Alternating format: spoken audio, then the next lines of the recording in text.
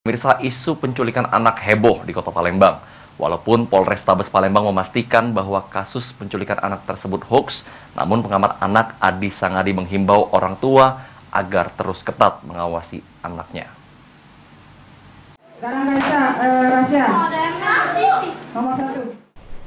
Isu penculikan anak sekolah dasar negeri 239 di kota Palembang telah beredar di masyarakat sejak dua pekan lalu. Kapolres Tabes Kota Palembang memastikan informasi penculikan pada anak sekolah dasar ini tidak benar atau hoax. Hal ini dikarenakan belum ada laporan hingga saat ini.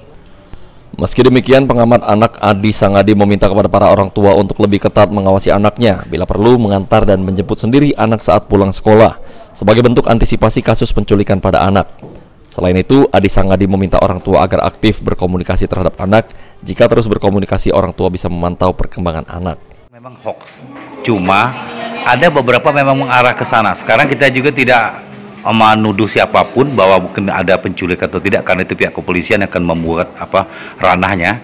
Uh, yang jelas bahwa ada mungkin memang orang-orang tertentu yang menginginkan anak atau menginginkan sesuatu tapi bisa dikaitkan juga dengan eksploitasi anak berkaitan dengan soal nafkahi alam berarti kata menjadi pemulung dan lain sebagainya tapi juga jangan sampai kita terlenakan karena dua 2012, 2013, 2014 Kota Palembang ini menaik uh, kasus pada saat itu pada saat itu adalah kasus pedofil. Pada pedofilia yang mengarah kepada anak-anak dan bisa mungkin ini meningkat menjadi uh, untuk mengamankan anak-anak tersebut, mengambil anak, -anak tersebut untuk dijadikan yang arah kepada pedofil, pedofilia. Ya.